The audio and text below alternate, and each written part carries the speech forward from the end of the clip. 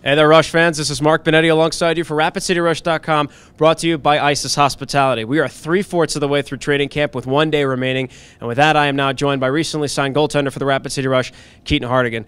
Keaton, before we get into any major specifics, walk me through the past three days of training camp and how it's been for you.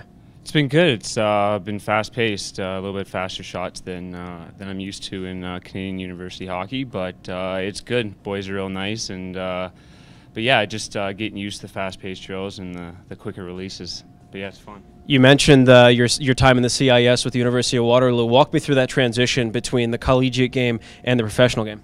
Yeah, it just uh, seems like guys here are just a little bit smarter, make a little bit uh, less mistakes, and obviously uh, obviously the quicker releases and the stronger body. So it's just uh, all around faster pace and stronger game.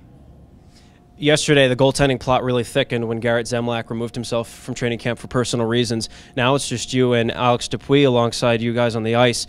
Walk me through the battle for number one on the team as opposed to actually getting a roster spot now. Yeah, well, well, me and Alex actually room together in the Hojo right now, but uh, it's great. He's a he's a great guy, and we actually played against each other for the past four years in uh, in CIS. So it's good. We're always uh, always battling and always got to improve day by day. So uh, we push each other. So it's good. It's a good battle. Last question. Uh, you know, going into training camp, obviously you've seen a lot of puck shot on you on net. Who's got the sickest mitts? Who's got the hardest shot on the team?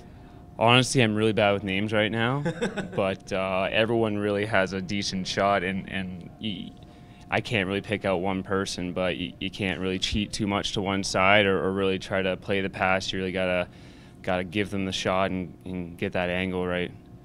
Awesome. Well, thank you so much for your time. Really appreciate it.